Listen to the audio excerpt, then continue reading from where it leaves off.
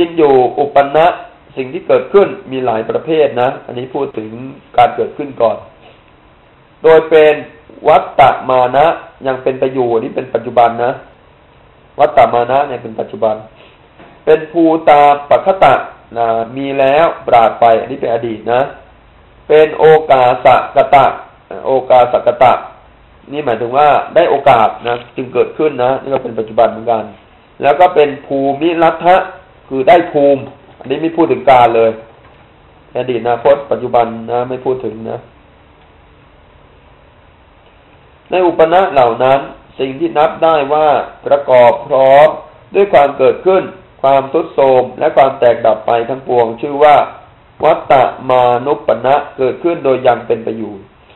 นะหมายถึงว่ามีการเกิดขึ้นตั้งอยู่แล้วก็ดับไปนะ อันนี้เขาเรียกว่า วัตตมานุปนะ วัตตมนุปนะ อันที่สองกุศลอกุศลที่สวยรสอารมณ์แล้วดับไป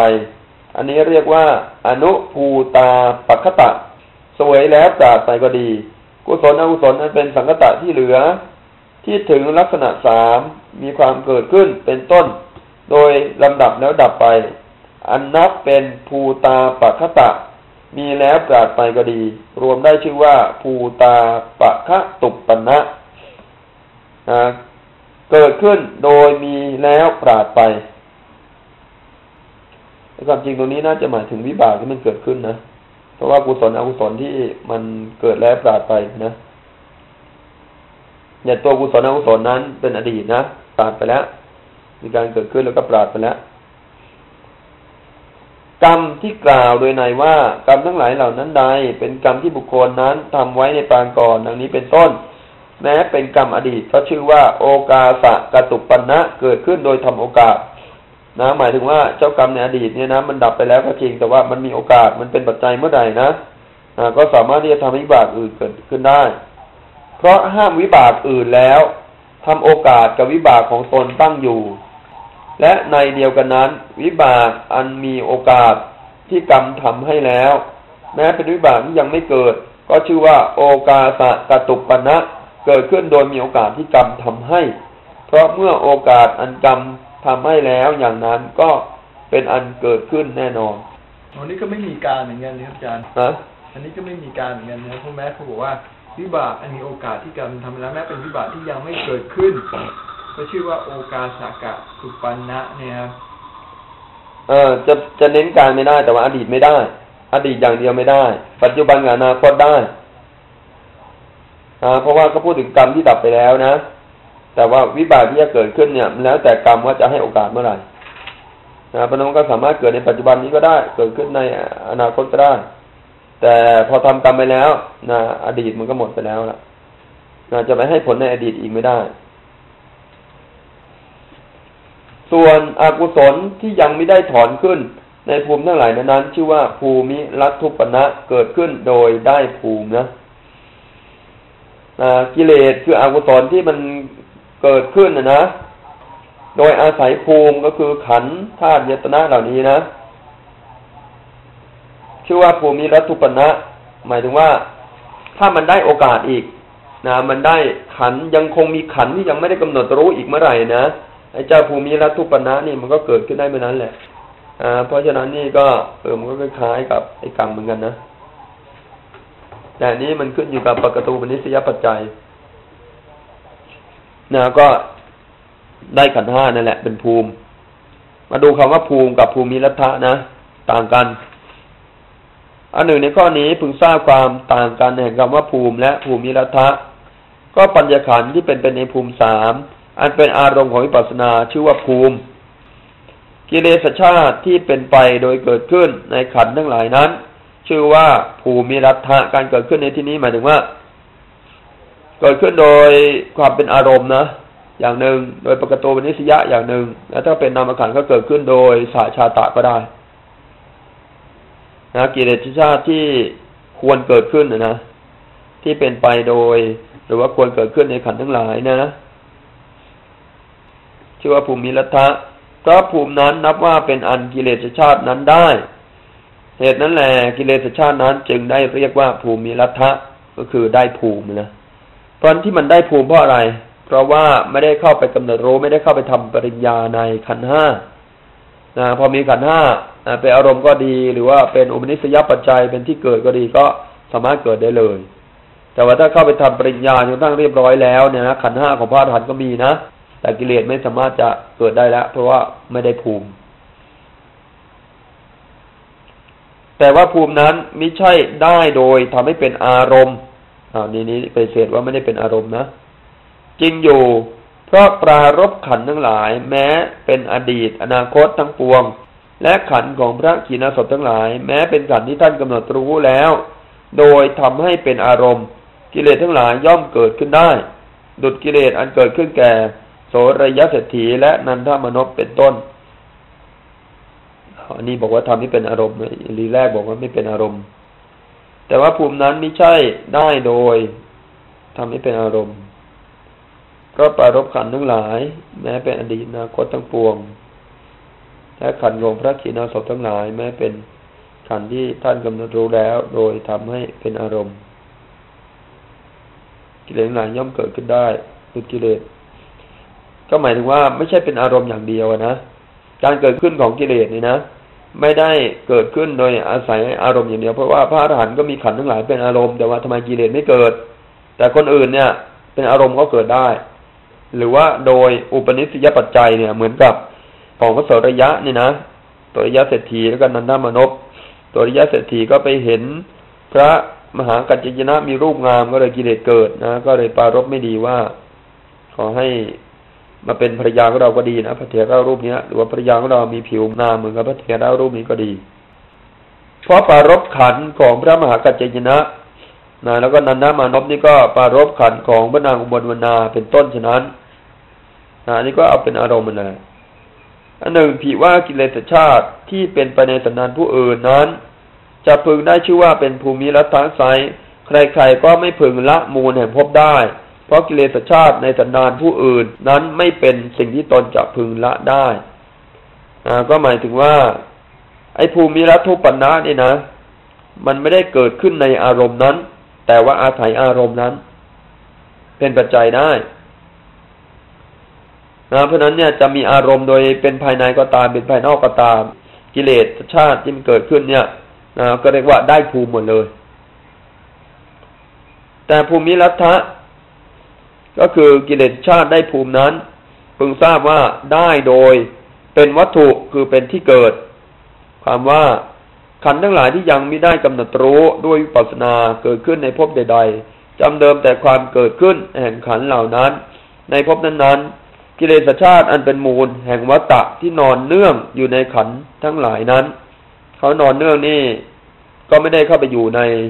ในขันนั้นอย่างเดียวนะ เกิดด้วยก็ได้โดยความเป็นอารมณ์ก็ได้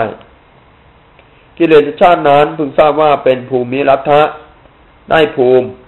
โดยอัดก็คือยังละไม่ได้ อันหนึ่งในขันทั้งหลายที่เป็นภูมินั้น กิเลสทั้งหลายที่นอนเนื่องอยู่ โดยอัดคือยังละไม่ได้เนี่ยคืออนุสัยนะในขันทั้งหลายใดของบุคคลใดมีอยู่ ขันทั้งหลายนั้นของบุคคลนั้นเท่านั้น เป็นวัตถุของกิเลสเหล่านั้น ขันทั้งหลายที่เป็นของของผู้อื่น หาเป็นวัตถุไม่ นี่หมายถึงเป็นที่เกิดนะนะเป็นที่เกิดนะของไอ้เจ้ากิเลสที่เป็นภูมิรัฐานี้ แต่ว่าอารมณ์นั้นตั้งภายในภายนอกได้ทั้งนั้นอันหนึ่งอดีตขันทั้งหลาย เท่านั้นเป็นวัตถุแห่งกิเลสทั้งหลายที่นอนเนื่องอยู่ โดยยังละไม่ได้ในอดีตขันทั้งหลาย ขันนอกนี้หาเป็นวัตถุไม่ อดีตขันก็เป็น ที่นอนเนื่องของกิเลสที่เป็นอดีตไปแล้ว ในอนาคตขันเป็นต้นก็ในนี้ในเดียวกันนั้น วัตถุแห่งกิเลสทั้งหลาย ในอนาคตก็เป็นที่นอนเนื่องของไอ้กิเลสในอนาคตนะกาโมจรขันทั้งหลายเท่านั้น เป็นวัตถุแห่งกิเลสทั้งหลายที่นอนเนื่องอยู่โดยยังละไม่ได้ ในกาโมจรขันทั้งหลาย ขันนอกนี้หาเป็นวัตถุไม่ในรูปาจรขันและอารูปาจรขันทั้งหลายก็ในนี้เหมือนกัน นะเพราะนั้นเนี่ยไอ้กิเลสนะแต่ละประเภทเนี่ยนะเขาจะมีอุปนิสัยของเขาแตกต่างกันนะเห็นได้มาว่าทำไมเราชอบต่างกันเออคนเราชอบต่างกันนะบางคนชอบผิวดำบางคนชอบผิวขาวบางคนชอบผิวเหลืองบางคนชอบในตาสีฟ้าบางคนชอบในตาสีสีดำอะไรต่างๆนี่นั้นกิเลสมันเข้าไปนอนเนื่องในความหลากหลายความแตกต่างกัน ส่วนในพระอริยบุคคลมีพระโสดาบันเป็นต้น กิเลสชาติอันเป็นมูลของวัตตะนั้นๆ ในขันธ์ทั้งหลายของพระอริยบุคคลใด ๆ ท่านละได้แล้วด้วยมรรคนั้นๆ ขันธ์ทั้งหลายนั้นๆ ของพระอริยบุคคลนั้นๆ จึงไม่ได้ชื่อว่าภูมิ เป็นวิปัสนาภูมิไป แต่ไม่ใช่เป็นภูมิของกิเลสนะ เพราะไม่เป็นวัตถุแห่งกิเลสที่เป็นมูลของวัตตะทั้งหลายนั้น ๆ ซึ่งท่านละได้แล้ว ราะกิเลสที่เป็นมูลของวัตตะทั้งหลายปุถุชนยังละไม่ได้โดยประการทั้งปวง กรรมที่ปุถุชนทำทุกอย่างจึงเป็นกุศลหรืออกุศล วัตตะของปุถุชนนั้นย่อมหมุนไป เพราะปัจจัยก็คือกรรมและกิเลสทั้งนี้ ที่มีกรรมและกิเลสก็เพราะว่ายังไม่ได้กำหนดรู้ขันเป็นวิบากกรรมชรูปนั่นเองอันวิบากกรรมชรูปเนี่ย ชื่อว่าเป็นภูมิของกิเลสนะเป็นที่ตั้งนะเป็นที่อาศัยเกิดของกิเลสนะ กิเลสก็เป็นปัจจัยกับการทำกรรม กิเลสชาติที่เป็นมูลของวัตตะนั่นของบุรุชนนั้น หาควรกล่าวว่ามันนอนเนื่องอยู่ในรูปขันเท่านั้นนะไม่ได้นอนเนื่องอยู่ในรูปขันเท่านั้นนะแต่ว่านอนเนื่องหรือเปล่านอนเนื่องไหมอ่ามันก็ก็เรียกว่านอนเนื่องอยู่ครับนะหาควรกล่าวว่ามันนอนเนื่องอยู่ในรูปขันเท่านั้นมิได้นอนเนื่องอยู่ในขันอื่น มีเวทนาขันเป็นต้น หรือว่ามันนอนเนื่องอยู่ในวิญญาณขันเท่านั้น ไมิได้นอนเนื่องอยู่ในขันอื่นมีรูปขันเป็นต้น ดังนี้ไม่ หมายถึงว่ามันนอนเนื่องอยู่ทั้งนามขันและรูปขันทั้งหมดใช่ไหมเพราะอะไร เพราะมันนอนเนื่องอยู่ในขันทั้งห้าโดยไม่แปลกกันเลย อันเนี้ยก็งงมากนะ ถ้าบอกว่านอนเนื่องอยู่ในจิตเออก็ยังเข้าใจได้ บอกนอนเนื่องอยู่ในรูปเนี่ยนอนเนื่องยังไงเพราะนอนเนื่องมันมีสองอย่าง นอนเนื่องโดยความเป็นอารมณ์กับนอนเนื่องโดยการเกิดขึ้นพร้อม สหชาตานุสัยกับอารามนานุสัยนะ อารามนานุสัยนี่หมายถึงนอนเนื่องโดยความเป็นอารมณ์สหชาตานุสัยก็นอนเนื่องโดยการเกิดขึ้นพร้อม ข้อนี้มีอุปมาอย่างไร อุปมาเหมือนรถดินเป็นต้นในต้นไม้ เหมือนอย่างว่าเมื่อต้นไม้ใหญ่ตั้งทับพื้นดิน อาศัยรดดินและรดน้ำเพราะมีรดดินและรดน้ำนั้นเป็นปัจจัย ก็เจริญด้วยรากลำต้น กิ่งน้อยกิ่งใหญ่นอ ใบดอกและผลจนเต็มฟ้า สืบเชื้อสายต้นไม้โดยสืบเนื่องต่อกันแห่งพืชตั้งอยู่ชั่วกันละปาวสารรดดินเป็นต้น นั้นหาควรกล่าวว่ามันทราบอยู่ในรากเท่านั้น ไม่ได้ทราบอยู่ในอวัยวะอื่น มีลำต้นเป็นต้น หรือว่ามันทราบมันซึมทราบอยู่ในผลเท่านั้นมิได้ซึมทราบอยู่ในอวัยวะอื่น มีรากเป็นต้น ดังนี้ไม่เพราะอะไร เพราะมันซึมทราบอยู่ในอวัยวะของต้นไม้มีรากเป็นต้นทั้งหมดแลฉันนั้นขออนุญาตอาจารย์รถดินนี่หมายความว่าอะไรนะครับ ก็รถดินเหรอ ก็อะไรที่มันดูดขึ้นไปนี่แหละ รถดินอ่ารดดินสารอาหารของต้นไม้นะนั่นแหละนะรดดินรดน้ำเพราะมันอาศัยอะไรสารอาหารเหล่านี้ก็คือดินน้ำไฟลมใช่ไหมครับเออดินน้ำไฟลมนั่นแหละมันก็ถูกดูดขึ้นไปหมดเลย อันหนึ่งเปรียบเหมือนบุรุษบางคนผู้เบื่อหน่ายในดอกและผลเป็นต้นของต้นไม้นั้นนั่นแหละ พึงตอกเงี้ยงพิษชื่อมันทูกะกันตะกะก็คือเงี้ยงกระเบนนะมีพิษด้วยนะ เข้าทั้งสี่ทิศ ทีนี้ต้นไม้นั้นถูกสัมผัสพิษนั้นต้องเอาแล้ว ก็มาถึงซึ่งความมีอันไม่ผลิตผลเป็นธรรมดา ไม่พึงอาจยังความสืบต่อให้เกิดอีกได้ เพราะรถดินและรถน้ำสิ้นแรงเสียแล้วฉันใดก็คือ มันไม่ซึมซาบนะดูดน้ำดูดอะไรขึ้นไปไม่ได้นะกุลบุตรผู้เบื่อหน่ายในขันธปวัตตะ ความหมุนไปแห่งขันเนี่ย ก็ฉะนั้นเหมือนกัน ย่อมเริ่มเจริญมรรคสี่นะก็คือโสดาปฏิมาจนทั้งถึงอรัตมรรคเนี่ยขึ้นในสันดานของตน เหมือนการประกอบพิษเข้าในต้นไม้ทั้งสี่ทิศแห่งบุรุษนั้น ทีนี้ขันธสันดานนั้นของบุรุษนั้น อันสัมผัสพิษก็คือมรรคสี่นั้นถูกต้องเอาแล้ว ก็เป็นสันดานมีความแตกออกไปแห่งกรรมทั้งปวง มีกายกรรมเป็นต้น โดยเข้าถึงคือกลายเป็นภาวะสักว่ากิริยาหมายถึงว่า ไม่ให้ผลละสักแต่ว่ากระทำไปเท่านั้นเอง มาถึงซึ่งความมีอันไม่เกิดในภพใหม่ต่อไปเป็นธรรมดา ไม่อาจยังความสืบต่อไปในภพอื่นให้เกิดขึ้น ได้อีก เพราะกิเลสอันเป็นมูลของวัตตะทั้งหลายสิ้นแรงแล้ว โดยประการทั้งปวง เพราะดับไปแห่งวิญญาณโดยสุดท้าย ก็เป็นผู้ไม่มีเชื้อดับสนิทสิ้นเชิง ดุดไฟสิ้นเชื้อดับไปฉะนั้น อันนี้ก็เป็นความต่างกันแห่งภูมิแล้วก็ภูมิละทะนะพึงทราบดังกล่าววันนี้นะนะยังมียังมีอุปนะอีกสี่อย่าง อุปนะในอัตถกถานี้ยังมีอีกตั้งหลายชุดนะนะรู้สึกจะสามสี่ชุดอะนะอุปนะการเกิดขึ้นของธรรมะ การเกิดขึ้นของกิเลส ดูในดีกาเนี่ยที่ว่าช่วยอะไรเพิ่มเติมไหมความพยายามก็ต้องไร้ผลเนี่ยในการละธรรมที่เป็นอดีต ความพยายามที่ไร้ผลยงยกไว้ก่อน เพราะธรรมที่เป็นอดีตก็ได้ดับไปแล้ว แต่ละธรรมที่เป็นอนาคตเป็นอย่างไรกัน เพราะฉะนั้นผู้ที่ไม่รู้เนื้อความที่ไม่วิปริตก็จะกล่าวถึงต่อไปแม้ธรรมที่เป็นอดีตและอนาคตนั้น ก็ได้ถือเอาแต่เพียงความไม่มีมาโจทย์ขึ้น นะแม้ถึงอย่างนั้น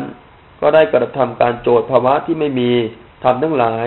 ที่จะพึงละก่อนว่าไม่มีผล คราวนี้ก็มาโจทย์ถึงการละ ก็ถ้าการละมีทำทั้งหลายที่จะพึงถูกละจะมีอย่างไร ถ้าทานทั้งหลายที่จะพึงถูกละมีการละจะมีได้อย่างไรนะที่พูดถึงกิเลสมันอยู่ในมรรคนะนะถ้าความพยายามมีละธรรมนั้น แล้วมันจะไป มีผลอะไรกันการพยายามนั้น เพราะว่าธรรมที่ถูกละกับธรรมที่ละนี่จะมีอยู่ด้วยกันไม่ได้ ย่อมมีทั้งธรรมทั้งหลายที่จะพึงถูกละ และย่อมมีทั้งการละเพราะเหตุนั้นก็นี้จึงเป็นการขัดแย้งกัน เพราะเหตุไรเพราะเมื่อมีทำทั้งหลายที่จะพึงถูกละอยู่ การละก็ไม่มีความพยายามอันสมควรกับการละนั้นก็ไร้ผล เปรียบเหมือนเมื่อมีความตั้งลงรวมกันแห่งแสงสว่างและความมืด ความที่เป็นแสงสว่างก็เป็นสิ่งที่ไร้ผล ฉะนั้น แม้ถ้าการละจะพึงมีได้อย่างไร ก็มรรคภาวนาก็จะกลายเป็นสังกิเลสิกะธรรมไป เพราะธรรมที่จะพึงถูกละ และธรรมผู้ละก็ตั้งลงร่วมกันเอาแสงสว่างกับความมืดที่เห็นชัดใช่ไหมครับจะมีด้วยกันได้ไหมไม่ได้นะมันก็ต้องมีอย่างใดอย่างหนึ่ง อธิบายว่าหรือกลายเป็น กิเลสทั้งหลายเป็นวิปยุตไปซึ่งกิเลสมันก็ต้องเป็นสัมยุตเหมือนอย่างสังขารที่เป็นวิปยุตของพวกอาจารย์ที่มีลัทธิว่าสังขารเป็นจิตตวิปยุตทั้งหลายนี่พวกประวัตีนะถ้าอาจารย์เมื่อจะแสดงว่าก็คำนั้นเป็นเพียงมติของพวกเจ้าลัทธิเหล่านั้นฉันใด แม้ในที่นี้ก็เหมือนฉันนั้น จึงกล่าวว่าอันปัจจุบันกิเลสชื่อว่าเป็นจิตตวิปยุตอามีไม่ ความจริงอรูปธรรมทั้งหลายเป็นไปโดยธรรมชาติมีวัตถุอันเดียวกัน นับเนื่องอยู่ในขณะทั้งสามจัดเป็นปัจจุบันอรูปธรรมเหล่านั้นจะพึงชื่อว่าวิปยุตไม่ประกอบด้วยจิตอย่างไรก็เห็นนั้นความที่กิเลสทั้งหลายเป็นวิปยุตจึงไม่มีทีเดียว ก็อุปมานะ เมื่อรากที่ต้นไม้รุ่นซึ่งมีผล ยังไม่เกิดถูกตัดไป ผลซึ่งควรจะเกิดต่อไป เมื่อการตัดไม่มี ก็ไม่เกิดขึ้น เพราะการตัดเป็นปัจจัย ย่อมชื่อว่าเป็นอันชิบหายไปแล้วฉันใด เมื่อมรรคภาวนาไม่มีกิเลสทั้งหลายที่ควรจะเกิดขึ้น ก็ไม่เกิดขึ้นด้วยมรรคภาวนา ท่านเรียกว่าละไปแล้วมีอุปมาเหมือนฉะนั้นนะก็คือไม่ได้เข้าไปละกิเลสจริง ๆหรอก เพียงแต่ว่าถ้ามักไม่เกิดเนี่ยนะกิเลสมันก็สามารถที่จะเกิดขึ้นได้นะแต่พออริยมรรคเกิดขึ้นแล้วสี่ครั้งกิเลสใด ๆ ก็เกิดขึ้นอีกไม่ได้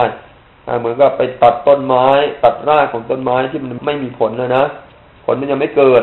แต่ว่าพอตัดรากมาแล้ว ผลที่ยังไม่เกิดมันก็ไม่มีโอกาสที่จะเกิดอีกต่อไปเลย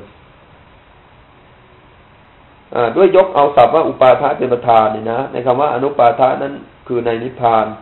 กิเลสเหล่านั้นยังไม่เกิดก็เลยไม่เกิด เพราะฉะนั้นจึงชั่วเป็นอันละได้แล้ว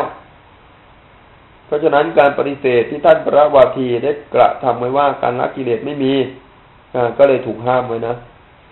ก็กิเลสเหล่านั้นหาใช่เกิดขึ้นแล้ว ไปปราดไม่ ทั้งจากมีต่อไปก็หาไม่ได้ และเกิดขึ้นแล้วก็หาไม่ได้เพราะเหตุนั้นท่านอาจารย์ยังกล่าว แสดงว่าคำว่าย่อมละกิเลสทั้งหลายที่ล่วงไปแล้ว ดังนี้เป็นต้นไม่ควรกล่าว เพราะกิเลสขณะนั้น ไม่เป็นอดีต ไม่เป็นอนาคตไม่เป็นปัจจุบันนะพูดถึงสภาวะจริง ๆ ก็ไม่มีสภาวะของกิเลสในขณะนั้น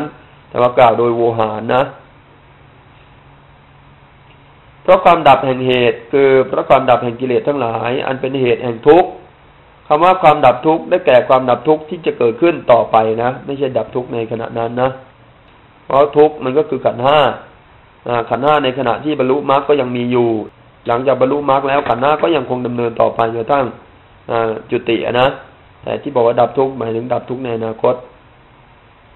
อุปาทาก็หมายถึงสิ่งที่มีความเกิดขึ้นคือขันนะนะวัตตะความหมุนไปแห่งอุปาทินนากะ นิมิตตะก็คือสังขาร อายุวนะก็ได้แก่ความพยายามนะก็จะเน้นเรื่องของกรรมนะอายุวนะเนี่ย ท่านถือเอาด้วยอำนาจของปัจจุบันภพกิเลสทั้งหลายยังไม่เกิดก็เลยไม่เกิด เป็นต้นนั้นกิเลสทั้งหลาย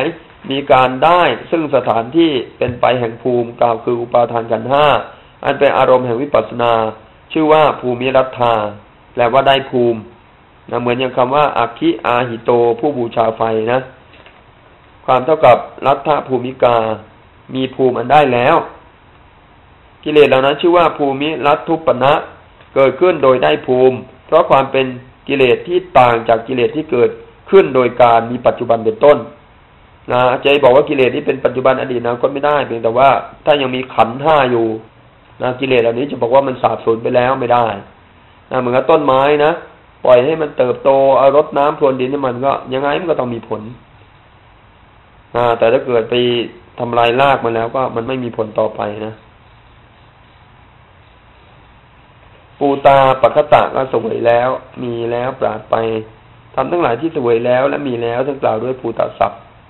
ความเป็นสิ่งที่มีแล้วเสมอกัน เกี่ยวกับการถือเอาเนื้อความที่วิกับไว้กุศลและอกุศลย่อมเสวยรสแห่งอารมณ์ด้วยกิเลส มีราคะเป็นต้นและด้วยธรรมอันเป็นฝักฝ่ายต่างจากกิเลสมีราคะเป็นต้นนั้น วิบากหาเสวยรสแห่งอารมณ์ไม่ เพราะถูกกำลังกรรมซัดขึ้นแล้ว ทั้งกิริยาก็หาเสวยรสแห่งอารมณ์ไม่ เพราะความที่ทำอันเป็นอาเหตุกะทั้งหลาย เป็นธรรมมีกำลังทุรพลยิ่งและเพราะธรรมที่เป็นสาเหตุกะทั้งหลายที่เกิดขึ้นแก่ท่านผู้มีกิเลสสิ้น แล้วผู้มีฉลังคุเบขาเป็นธรรมที่มีความเป็นไปละเอียดยิ่ง ในที่การนี้ท่านอาจารย์กล่าวว่าภูตาปกตะสิ่งที่เกิดขึ้นมีแล้วปราดไป ด้วยความประสงค์จะกล่าวกุศลและอกุศลอย่างเดียว ในในก่อนซึ่งท่านอาจารย์ได้ถือเอาว่าเป็นสิ่งที่เกิดขึ้นแล้ว แล้วกล่าวการละและการเจริญธรรมที่เหมือนกับกุศลและอกุศลนั้น ในคำนี้ว่าเพื่อละอกุศลธรรมทั้งหลายที่เกิดขึ้นแล้วนะแปลไปแปลมาก็ได้เนื้อความน้อยมาก โอกาสะกตุปันะเกิดขึ้นโดยโอกาสและเกิดขึ้นโดยมีโอกาสที่กรรมทำให้ด้วยอำนาจอัดทั้งสองคือโอกาส อันกรรมนี้กระทำแล้ว แล้วว่าโอกาสที่ทำแล้วแต่วิบากนี้ ซึ่งเป็นสิ่งเกิดขึ้นได้เข้าใจอยู่ ตรงนี้ไม่ค่อยได้ความเท่าไหร่นะเราตอบตรงนี้ดีกว่าจะมีอุปนะนะ อุปนะอีกสี่อย่างนะแล้วก็เรื่องของกิจของอริยสัจในมรรคอะมรรคเขาทำกิจ รู้แจ้งอริยสัจตัดรู้อย่างไรนะรู้แจ้งอริยสัจด้วยอาการที่หกอย่างามาพูดปริญญาเตรณะปริญญาในที่หลังมาเลยปหานะปริญญาปหานะแล้วก็สัจฉิกาตพะตัทังคะปะหานตามแนววิสุทธิ ตามแนวมหาวิปัสนา ถ้ามาอธิบายเพิ่มเติมสัจจิกริยาจิตภาวนากิจอืมก็จะจบแล้วเอาวันนี้แค่นี้ก่อนนะวัฒนาด้วยก่อน